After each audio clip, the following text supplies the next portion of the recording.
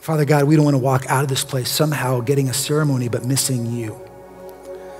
And so we ask that you would make yourself known, that you would be present, that we would be focused on you, even as we're focused on Aaron and Rachel, Father. I pray that their lives become transparent in a way that leads us to the King of Kings and the Lord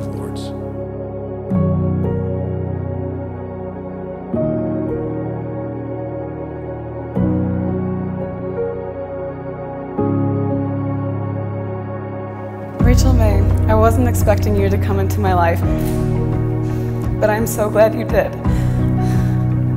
God had the best surprise for me, and that was you. I was first attracted to those eyes and that serious face.